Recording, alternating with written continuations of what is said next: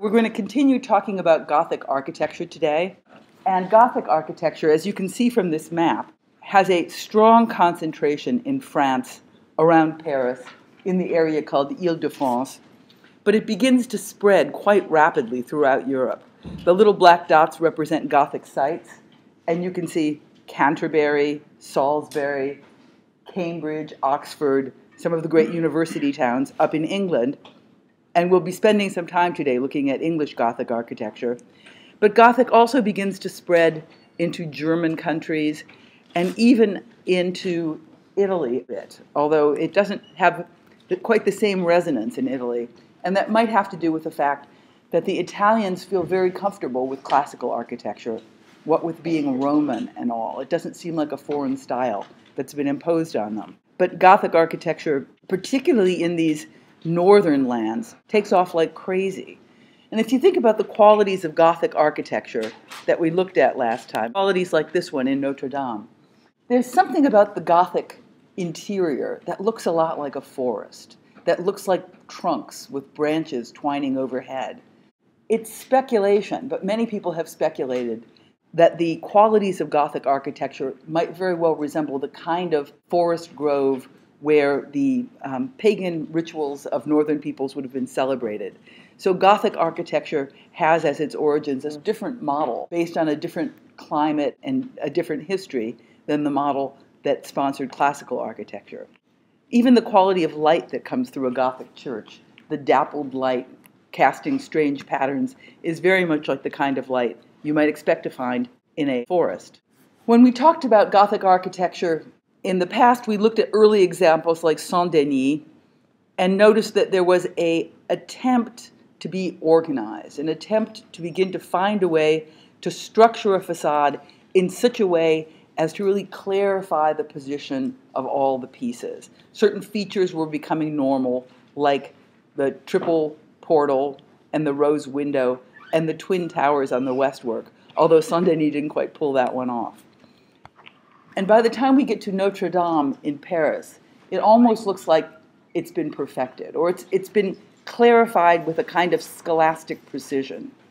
And by scholastic precision, I'm referring to the school of philosophy most eloquently discussed in the Summa Theologica by Thomas Aquinas, where categorization and organization and correspondence between the heavens and earth are mapped out with mathematical precision. And you look at Notre Dame and you have to say, this is one heck of a facade. That's what I say every time I see it. And then I get an ice cream, and then I keep looking at it, but with an ice cream. And what features make Notre Dame so perfect? Or let's just say, what features in Notre Dame exemplify the Gothic in a way that even, say, Saint Denis does not? Who would like to handle that? Yes. Um, Good.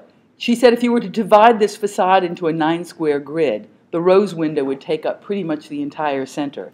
In fact, this facade is strongly governed by geometry, and it's strongly governed by structure. And there is this clarity, I think, that comes from conceptualizing the building as a mass from which the elaboration of ornament is carved out rather than added on. Just to remind you, Notre Dame is okay. Look at your thumb, look at the plan, that's it. Already by the time we get to the High Gothic in churches like Reims Cathedral, some of the rigor and restraint that we saw in Notre Dame is beginning to go away in favor of more free elaboration of the ornamental program. This is a drawing of an ideal church based on Reims Cathedral by the 19th century architect and restorer Eugène Emmanuel Viollet-le-Duc. And it just looks almost like a cloud of fluff, which in fact is what these churches look like with all their buttresses coming out and so forth. Monet was probably responding to the ambiguity of surface, the superabundance of ornament, and the frothy quality that made the building so receptive to light when he did his cycle of paintings of the Rouen Cathedral in the period from 1882 to 1883, I believe. He tried to capture the quality of light on the building, and because they were so so changeable and so variable based on the way light hit them and they cast shadows, he kept several canvases going at the same time, and he ultimately painted about 30 canvases of the same subject. But it's a different look than we got from Notre Dame, which is chiseled and precise and readable. And it's true also that the facade of Reims Cathedral is layered and lacy. One thing we identified when we looked at it last time is that the porch becomes autonomous. The porch is no longer carved into the mass of the building, but it pulls out from the mass of the building and becomes almost a screen that one moves through. So the three dimensionalization of the wrapper of the building, which is enforced by the necessity of pulling out buttresses on the sides, is now mirrored in the pulling out of the porch on the front. And so you get this incredibly diaphanous, lacy wrapper throughout. And ornament becomes slightly more focused on producing replications of itself at ever refined scales than at encoding these very precise meanings or mapping out these very precise hierarchies that we saw in Notre Dame. This is the effect of all that diaphanousness, the introduction of lots more light. So, as a point of comparison, just to show us how these things march along, here we have these are at real scale. And ultimately, Amiens is about 140 feet tall, Chartres is about 118 feet tall, and I don't remember how tall Notre Dame is, but slightly smaller. And you can see this kind of transformation from extreme clarity and order to something that becomes much, much more about an elaboration of surface. And that leads to the next development of Gothic that you have in France, and we glimpsed it a little bit last time when we looked at Sainte Chapelle, and that's the rayonnant or flamboyant Gothic. And the word flamboyant should tell you something very flamboyant is going on here. And, and it is. This, this is a little image of Saint Maclou in Rouen. The name will be written out in a moment. But it, it is, I think, a really good description of how ornament becomes autonomous, how ornament begins to replicate itself in a way that's more sculptural than uh, didactic. The map here shows you the spread of Gothic in the 13th and 14th centuries. That is to say, the period of the High Gothic and moving into these, this late period of Gothic what we see as we move into this late period of Gothic is an increased interest in lightness and dematerialization and ever increasing fragility and so forth. so here's Sainte Chapelle that we looked at before, and you can see from the plan of Sainte Chapelle that there is this extreme erosion of the envelope. Also, the buttresses that flank Sainte Chapelle begin to give it this kind of exterior view of cage. And Beauvais Cathedral, in its extreme uh, dematerialization, likewise begins to make propositions about architecture that aren't entirely rational and Thomist in their impulse. I don't know if I clarified this last time. This is the crypt of Sainte Chapelle. When we looked at the section of Sainte Chapelle, we saw this little area down below and then the big chapel up above. And there's a wonderful juxtaposition between the spatial experience of the two conditions. Uh, this is really kind of cave like and compact and the way you enter it now is you come in through the crypt and then you explode up into this wonderful expansion of light and space.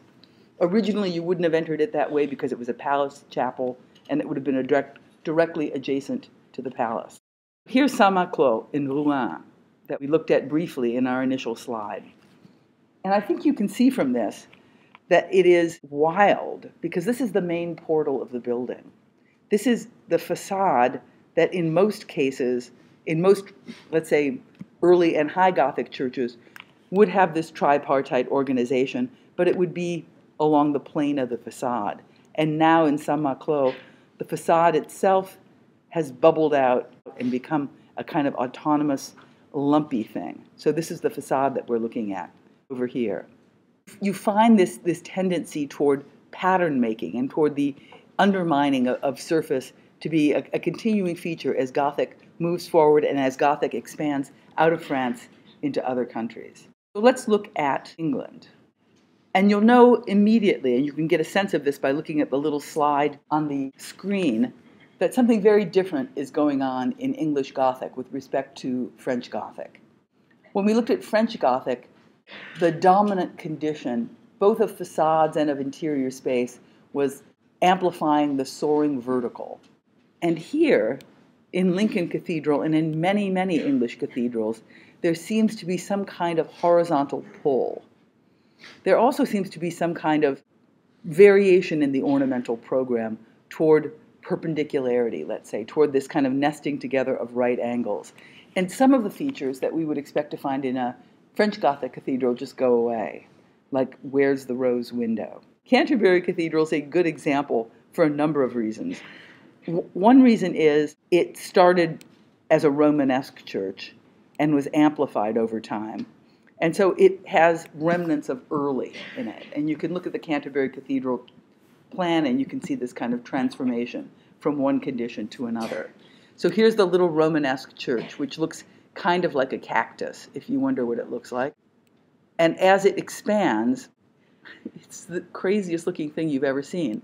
It begins to grow another transept and kind of grow radial chapels, but in a very odd way. There was a architect from France that came over, William of Sens, who was involved in Sens Cathedral, an early Gothic cathedral that we, we looked at briefly when we were making comparisons with Durham Cathedral.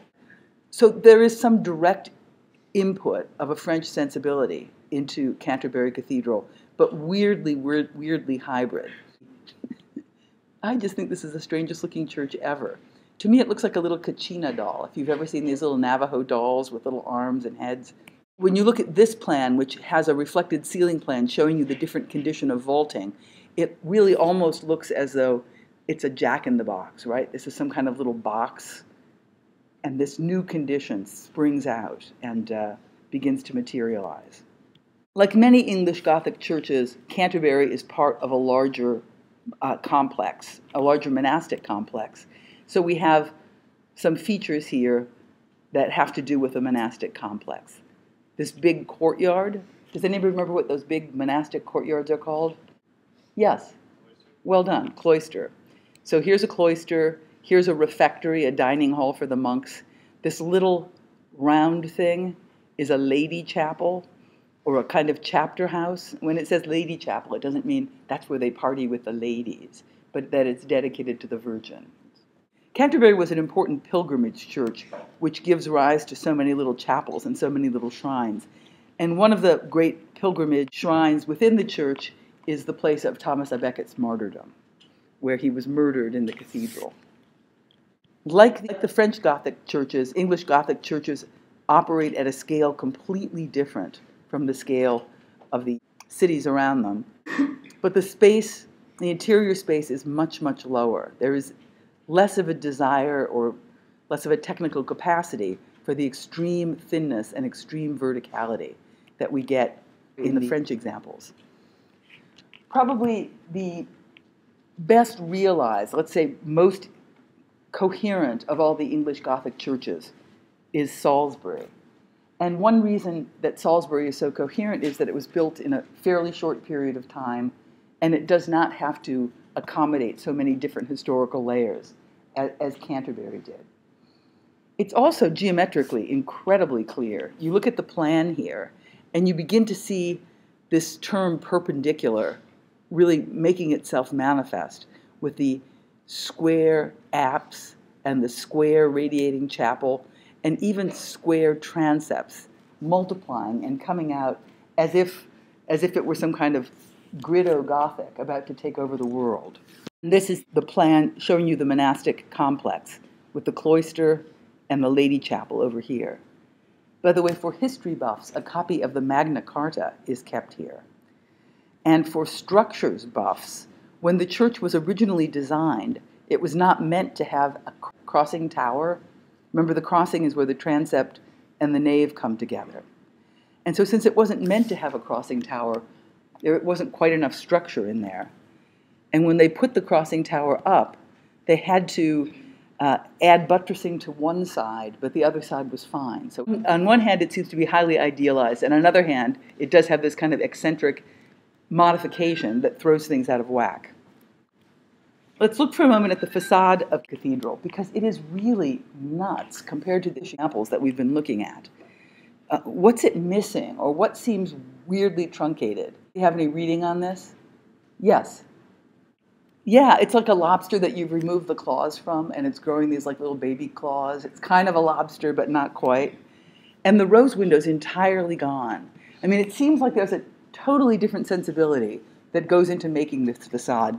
And it seems to be much less about the explicit demonstration of structure and this, this gridding out of the facade, and rather there's just a kind of sensibility of covering the whole thing over with pattern. Because every little surface is encrusted with all kinds of pattern. This is what you get. This is called the W window for some reason, I guess because W, uh, instead of a rose window that we hear. Slender little colonnettes marking out the surface. And here's the entry portal. It all looks so thin and so spindly, doesn't it, compared, compared to the French Gothic? And that's so strange because the French Gothic looks so thin and so spindly compared to the Romanesque. But this stuff looks paper thin to me. A lot of the stuff that we saw going on in the flamboyant and rayonnant late Gothic in France had to do with the weird developments in vaulting, this kind of autonomy. The tracery begins to detach itself from the wall and do its own thing. And that is something that finds real favor in England. Here in Salisbury, in the church proper, you don't see it so much. But if you go into the little lady chapel, that place with the Magna Carta, there is a fan vault. And the fan vault simply, well, it looks like a mushroom almost, where the ribs come together and uh, pull down. This is what the vaulting looks like in the rest of the church. It's kind of rational, it's kind of four part vaulting. As we look at later and later and later English cathedrals, this tendency of the vaulting to go crazy becomes more and more pronounced. So much so that at Lincoln Cathedral, there's a section of vaulting that is widely known as crazy vaulting. That's not my term, crazy vaulting, and you will see why. Anyhow, here's Lincoln Cathedral if people showed you this on a test, say, and you had to identify it, how would you be able to know that it was English Gothic? What things about the plan of Lincoln Cathedral tell you that this has got to be English Gothic? Yes. Well, you could have a double transept in French Gothic, but it's more likely to happen in, in English Gothic, so yeah. Yes. Yes. I don't know people's names. White sweatshirt girl with glasses. The cloister you could have at any monastic compound but you're awfully likely to have one with a Gothic church in England. Yes? Right, in early Christian and Romanesque and in French Gothic, you traditionally have a rounded apse, and here what do we have? Right, it's straight. Somebody else had their hand up, or did she steal your, your answer? Yes? Well, there are. There are perpendicular angles throughout the transept. This whole thing seems to be governed by a highly uh, organized disposition of orthogonal lines, of right angles. And you get this kind of very dramatic lady chapel. And I would say that the lady chapel in this form is something you find a lot more frequently in a, in a English Gothic than in a, in a, in a French or Italian or whatever else Gothic. Here's the facade of Lincoln Cathedral. What is so crazy looking? What makes this thing look like it's English to you? If you saw this and you had to say, is it English or French? Yes? It reads very horizontally as well as vertically, right. I mean, it almost looks like it's some kind of biology experiment that you did in ninth grade where you had to collect insects and pin their wings down. Did you do that? Or did you go to school in a kinder, gentler era than I did, when you were no longer pinning bugs to corkboard? So doesn't it look like, you know, you pin this thing down and here it is, you flatten it out?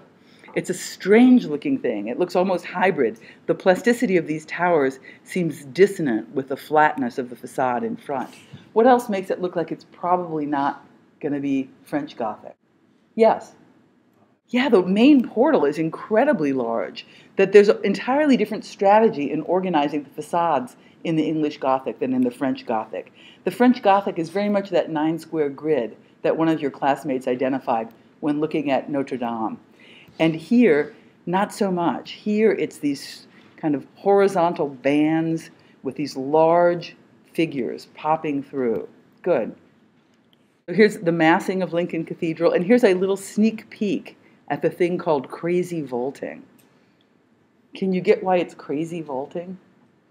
It's so weird. It's sort of asymmetrical. It does the trick, which is to say, it takes loads from the from the roof and translates them to points, but it doesn't unfold symmetrically. It kind of oscillates from point to point as you move along the surface. There's another view of the fabulousness of Lincoln Cathedral. and a diagram of the crazy vaults, different, different strategies of crazy vaults. Some of the vaults do this, which are a little bit more normative, let's say, than the crazy vaults because they're symmetrical, but they're, they're beginning to create a situation that is more fan like, that's more about the kind of volumetrics produced in a convex way than the concavity that you get of a rib vault that follows the geometry of the, of the church. Here are the crazy vaults where you get this kind of zigzagging from point to point to point. And here are some of your crazy vaults. The Henry Chapel, which is quite late uh, at Westminster Abbey, is an example of a church where the vaulting is becoming more and more uh, sculptural, more and more autonomous, less and less about simply reinforcing the line of structure on the plane of the ceiling vault and more and more about becoming this kind of free figure. This diagram shows you what's happening, that these vaults become these hollow cones almost hanging in the space. And you see what I mean? The, the notion that Gothic architecture is about the clear, representation of structure and lines of force through a building just is not happening anymore. The entire surface has been encrusted with this waffle like pattern making and even things that begin to suggest the formation of structure don't quite hit the ground. They hang there like stalactites in space.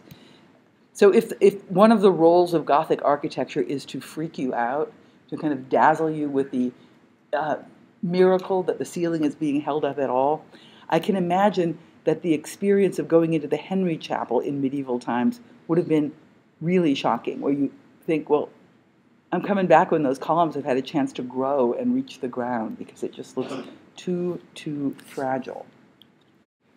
This is Ely Cathedral, another one of these big, hulking, perpendicular style Gothic cathedrals. Fabulous massing. The idea of the tower at the crossing is something that becomes a feature in English Gothic churches. This aerial view shows you that not only one, but two crossing towers are going on here because, of course, we have not only one but two transepts. And here's the facade.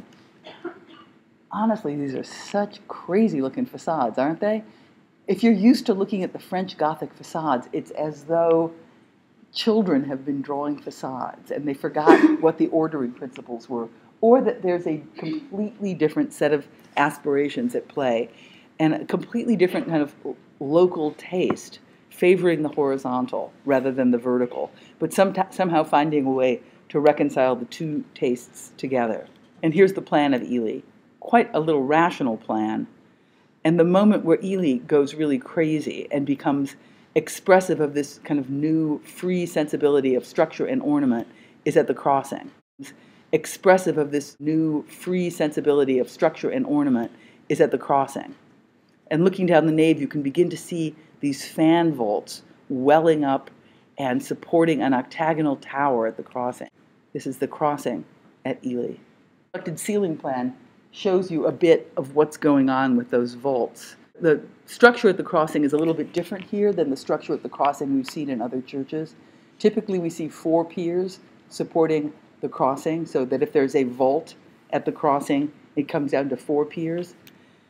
But the transept comes marching in with two hulking big pieces of structure. The nave comes marching in with two hulking big structures, and the choir comes marching in with two hulking big chunks of structure. So you actually have eight piers disposed around the center, which makes it possible to get this, this unusual figure in the vaulting that we see here at Ely.